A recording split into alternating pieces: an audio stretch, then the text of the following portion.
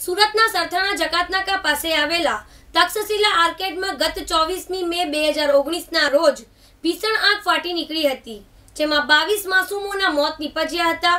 આ દુર્ઘટના બાદ પોલીસે ગુનો નોંધીને ફાયર બ્રિગેડ એસએમસીના અધિકારીઓ, બિલ્ડર જીબી અને ક્લાસીસના સંચાલક સહિત કુલ તેર આરોપીઓની ધરપકડ કરવામાં આવી હતી. જો કે ગેરકાયદેસર બંધારણ કરી ક્લાસીસ ચલાવવામાં ભાડે આપનાર દિનેશ કાંજી વકરિયા ધરપકડ ટાળવા નાસ્તો ફરતો હોય. પોલીસે ગુનાના બનાવના સમયથી અંદાજે નવ મહિના બાદ બાતમીના આધારે તેને પકડી પાડી એની ધરપકડ કરી હતી. તક્ષશિલા આર્કેટમાં બિન અધિકૃત બાંધકામ કરી ક્લાસીસ ચલાવવા ભાડે આપી પોતાની ધરપકડ અટકાવવા માટે બનાવના દિવસથી નાસ્તા ફરતા હતા.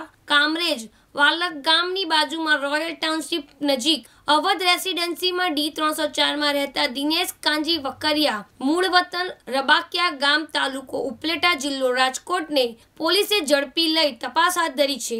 તક્ષશિલા આર્કેડની તપાસ દરમિયાન મેળેલી મૌખિક દસ્તાવેજી સાયોજિક તેમજ વૈજ્ઞાનિક પુરાવાને આધારે Takshashila આર્કેડમાં smart design studio tuition classes ચલાવવા, ભાડે આપનાર માલિકો, ફાયર અને ઇજનેરી સર્વિસના ફાયર ઓફિસરો, ગેરકાયદેસર વીજ કનેક્શનની ચકાસણી ન કરી ફરજમાં બેદરકારી દાખવનાર ડીજીવીસીએલના નાયબ ઇજનેર તક્ષશિલા આર્કેટના ત્રીજા માળે બંધાયેલા બિન અધિકૃત બાંધકામ નિયંત્રણ કરવા માટે રજૂ કરાયેલા પ્લાન સ્થળ સ્થિતિ માટે સુસંગત ન હોવા છતાં ઇમ્પેક્ટ ફી મંજૂર કરનાર તથા સર્ટિફિકેટ ઓફ રેગ્યુલાઇઝેશન ઇન્શ્યોર કરનાર પાલિકાના ઇજનેરો મળી કુલ તેર આરોપીની ધરપકડ કરવામાં આવી હતી.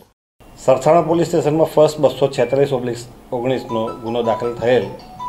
જેમાં તક્ષશિલા આર્કેડમાં અગ્નિકાંડ થયેલ અને બાવીસ જેટલા માસૂમ બાળકો મૃત્યુને ભેટેલ. જેમાં અત્યાર સુધી કુલ તેર આરોપી પકડવામાં આવેલ. આજરોજ ડીસીબીને મળેલી માહિતી અનુસાર દિનેશ કાંજી વેકરિયા નામનો આરોપી પકડી પાડવામાં આવેલ છે. જે ગુનો બન્યો ત્યારથી અત્યાર સુધી નાસ્તા ફરતા હતા. આ ક્યાં ક્યાં નાસ્તા ફરતા હતા એ અંગે અત્યારે વધુ તપાસ ડીસી પોલીસ સ્ટેશન કરી રહી છે. કેમેરામેન સાબિર સૈયદ સાથે સોનલ ટોપીવાલા દિવ્યાંગ ન્યૂઝ સુરત.